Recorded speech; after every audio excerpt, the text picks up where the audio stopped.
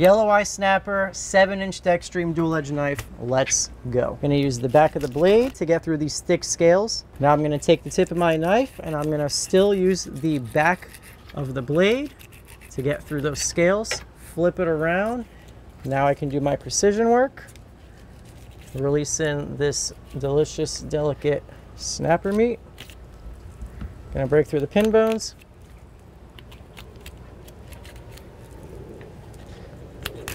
Gonna go over the rib cage, down on the other side of the backbone.